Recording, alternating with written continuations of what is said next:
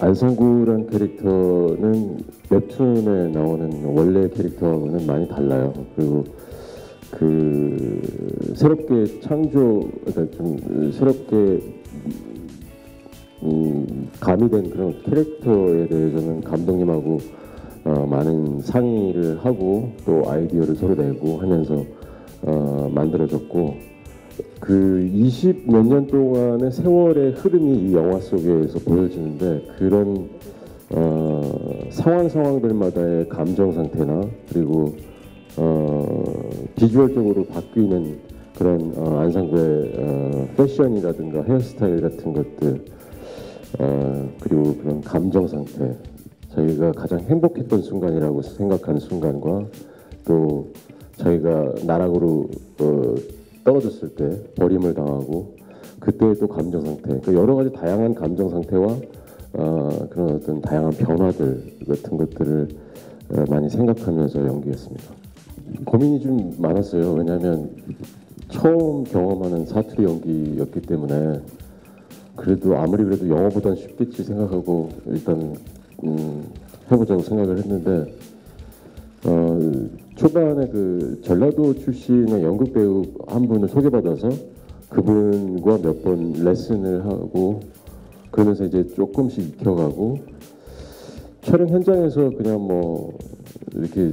말할 때도 그냥 농담 삼아 사투리로 어, 또 써보기도 하고 또 배우들 중에도 또 스태프분들 중에도 전라도 출신 분들이 다행히 좀 계셔가지고 어, 제가 어떤 대사를 그날 해야 될 때마다 그거를 어, 그 앞에 가서 한 번씩 해보고 어디가 어색한지 지적해달라고 어, 부탁을 드리고 또 그분들이 지적해 주시기도 하고 또 이러저러한 어, 또 그분들이 다른 예도 들어주시면서 이걸로 바꿔보면 어떻게 했냐고도 또 해주신 적도 있고 그래서 상당히 여러분들한테 도움을 많이 받았어요. 그 어, 조금이라도 좀 자연스럽게 하기 위해서. 처음 제가 시나리오를 감독님께 받았을 때의 안상구의 캐릭터는 아, 어, 완전히 다른 사람이었어요. 사실은 그는 어, 이런 유머러스한 느낌보다는 어, 그냥 어, 이 영화에 나오는 다른 캐릭터들처럼 굉장히 힘 있고 어, 진짜 조폭스러운 그런 캐릭터였기 때문에 시나리오를 읽을 때 어, 물론 단숨에 읽어버릴 정도로 너무 재미있게 저는 읽었는데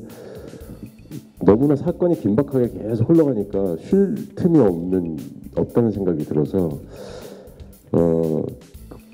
관객들이 조금 쉬어갈 수 있는 그런 캐릭터가 하나 정도 필요하지 않을까 혹은 그런 시츄에이션이 좀 필요하지 않을까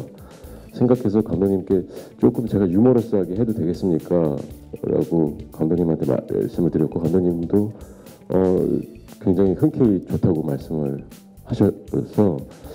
어, 현장에서 사실은 상당히 많은 애드립과 이렇게 많은 애드립이 있었던 적은 저는 아마 영화 중에 처음이라고 생각이 될 정도로 어, 거의 애드립으로 어, 어, 대사들을 했었던 기억이 나요. 상황들도 그렇고.